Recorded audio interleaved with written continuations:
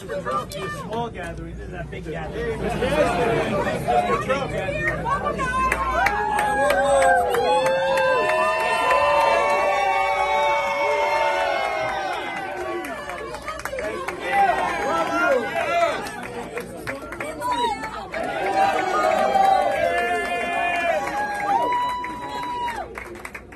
Hang in there, thank you.